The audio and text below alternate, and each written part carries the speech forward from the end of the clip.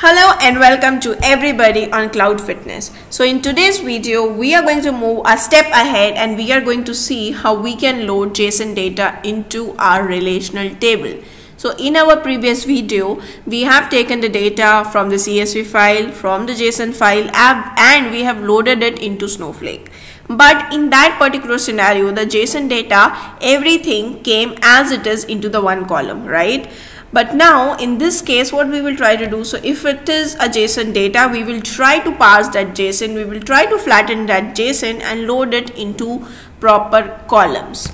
So moving ahead right uh, we will see that uh, you know how it can be loaded into a relational table directly from the stages right that we have been talking about uh, in the previous video as well. So we will actually try to modify the data when we try to do a copy activity okay? I'll exactly tell about the change over here.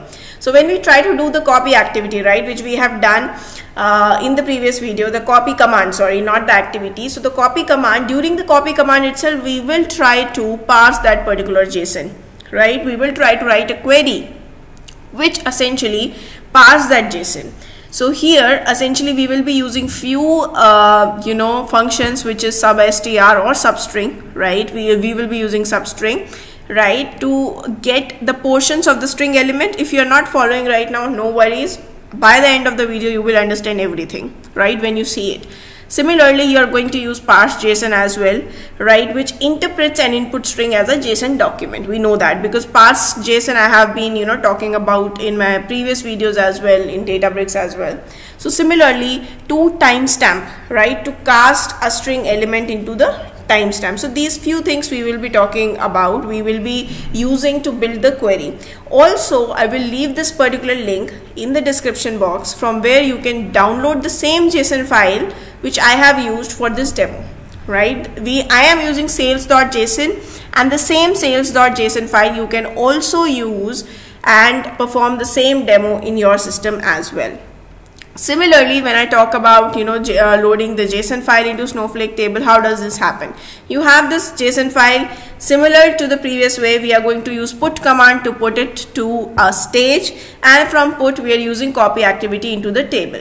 Now in this copy activity, we will be using the transformations. We will be using the functions to flatten the schema and put it across in the table. Now the very first thing, right, like the previous one, what we need to do is we need to uh, create a table right? Because we are going to load the json data into a table. So the very first thing is we need to create a table. So let me just copy this particular command and move to the snowflake account right? So this is the json table that we created in the last time right? So this is how the data looked like right? If you see this this is how essentially the data looks like in all in one column. But in our case now we are going to create another table which is a home sales table because I'm using a sales.csv file right? So it has columns named as city zip state type sale date and price. So let me just run this particular statement. And now in the my database right I have this home sales as as well right? I have this home sales table also available. Right now it does not have any data. So if I'm previewing the data it has only these columns. Now after this right i will also show you let me show you the json file as well. So uh, i have also kept the json file at a particular location. You can keep it at any location. That does not make much difference. So let me show the sa uh, sales file to you. Right if you see the sales.json right how does it looks like? It has location right inside this location it has state city right? State and city are combined using this hyphen right? So we need to pull out state separately we need to pull out city separately.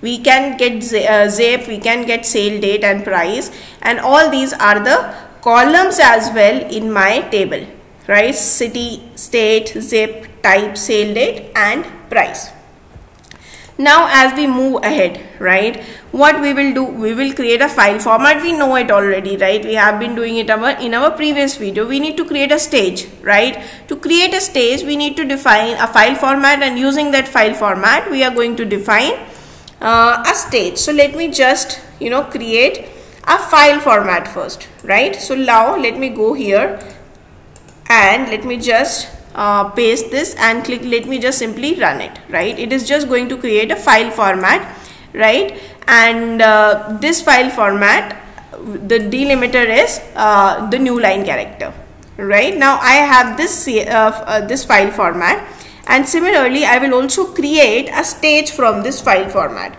right? Now when I create a stage you can actually see that when I create the stage I'm using this previous file format. Let me just run this command as well and you will see that the stage has been successfully created.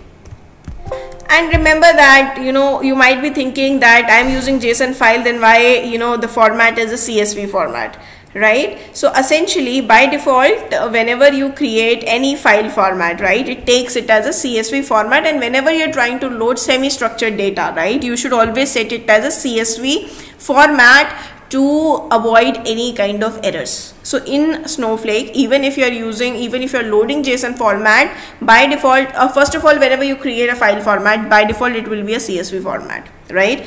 And specifically when you're trying to load JSON you should always set it to a CSV format only right because when you are trying to do any kind of transformations in between right? In case of JSON file format it might give you some issues but in case of CSV it will still work well. So always use CSV when you are trying to create a file format for the JSON right?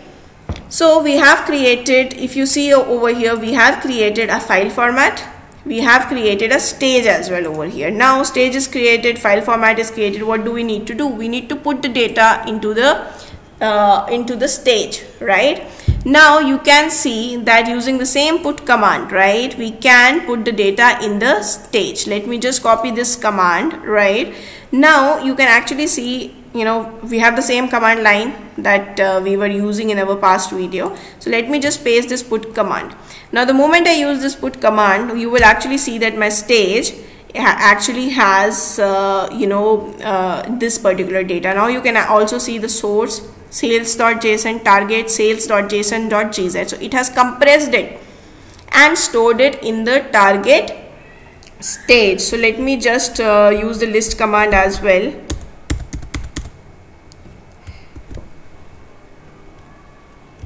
so now essentially uh, we have uh, talked about this list command. So now you have already seen that uh, you know we have put the data in this particular stage and we have list the stage like the previous one and we have got the details that okay in this stage we have this data. Now uh, the put command is done and then we also uh, now what do we need to do? We need using uh, the stage that we have created we need to take the data from that stage and put it into the relational table that we have created now to take in the data now to take in the json data right uh, to uh, to take in the json data from the stage and put it into the relational table along with each and every column we have to write a query. Now this is the query the same query we have pasted it over here as well right? This is what we have done. Now the top 1 2 and 3 commands right? This is nothing but this is my data now the 7 to 12 this is the query. This is the query which we are trying to fire while doing the copy activity uh, by, while doing the copy command. Now it says copy into home sales. Home sales is nothing but the table right? Now this table has city state zip sale date and price right? These are the columns that this home sales have. Now it says select right substring. It is using a substring function and inside substring it is trying to parse the json. Now this parse json is nothing but dollar one. Now dollar one is exactly what? When i'm taking this json data and i'm loading it into the stage what it will do is it will load all of this data into one column right? Because in the previous uh, video i showed you everything gets loaded in one column. We actually saw it as well right? In the previous video we loaded my json table right? Let me just preview this data. Everything got loaded in the one table. Because in the stage also it was in one table.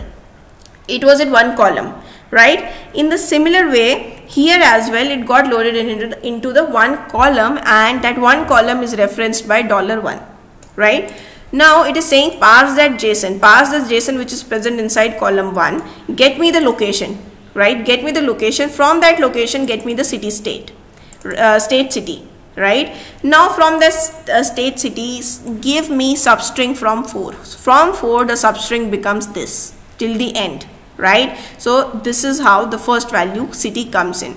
Similarly, when it comes to the state, right, if you see it has the same value from the parse JSON location dot state city give me a substring from 1 to 2 so 1 to 2 is nothing but the first two values right it is a typical substring of SQL. Similarly, you have something called as zip, right? Now to zip as well, it is simply parsing that JSON and it is saying that, okay, from the location, give me the zip, right? For the sale date, sale date is, is not in the location, right? It is not in the location. So directly it is saying that parse JSON and give me the sale date and convert it to the timestamp.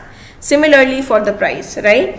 Now from this particular stage so this is the stage that we created right from this particular stage right give me this these values and put it in this particular table which has these columns this is what it means. So let me just copy this copy command uh, and go to the command line right? Let me come a little bit down and then let me just uh, in fact uh, give me a moment. So now the moment I have copied it over here I have copied this copy command over here. Now moment I click on enter you will see that it starts getting copied and you will actually see that it says rows parsed 3 rows loaded 3 error limit 3 error seen 0 so there were 0 errors and it has status as loaded. Now if I go back right and if I query my home sales you will actually see the data has been loaded. Now you can see that city zip state right the same values which which I have over here right? Now you can see the city right Lexington right all the cities all the zip codes have been correctly populated. Similarly you know state we already knew it was MA then type residential everything you have got here right? Type residential if you remember while creating the table itself right? While creating the table let me go back to the create table query right? I have set that a type string default residential. That is why residential has uh, has been populated.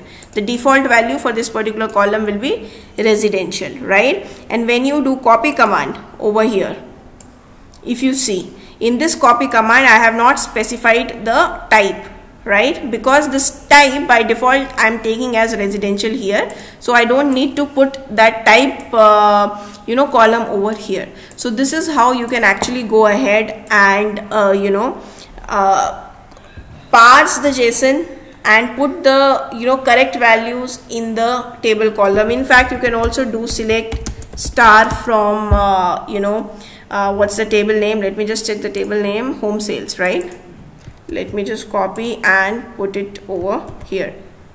In fact let me just write it home underscore sales right? And just now the moment I do it you can actually see the data as well right? This is the whole data that you have. So this is how actually you can use JSON data right? You can parse that json data instead or instead you can you know just flatten that data and put it in separate columns in snowflake.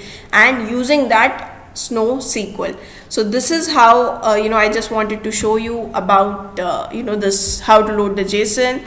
And thank you so much for being till here. Do remember to like share and subscribe my channel. Do let me know in the comment section if you have any doubts.